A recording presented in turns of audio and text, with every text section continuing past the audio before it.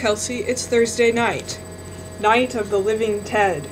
Yeah, so I got the new Booster Gold, and it's a Blackest Night tie-in, and Ted Kord comes back as a zombie.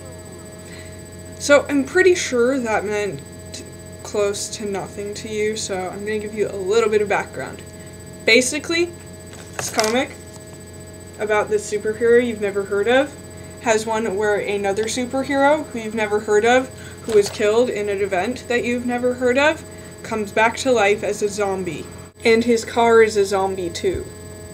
Why is this so exciting for me, you ask? Well, first of all, since I go to Berkeley, I kind of have to support Team Blue and Gold, as these two superheroes are often referred to. Secondly, the two characters' relationship is very much like that of Alfred Lord Tennyson and Arthur Henry Hallam.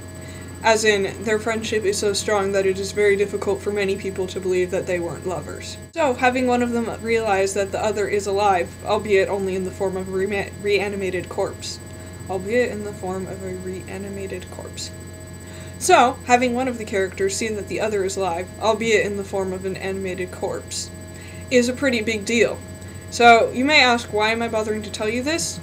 Well, the truth is, I'm not really that excited about this comic, but in a month's time, I am going to freak out when I read the next comic. Because this comic ends on a cliffhanger.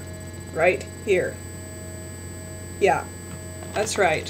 One of them realizes that the other is alive, and then it ends. And now I have to wait a month. But hopefully, at the end of that month, there will be epicness, and I will be here to tell you about it. Kelsey, I will see you on Saturday.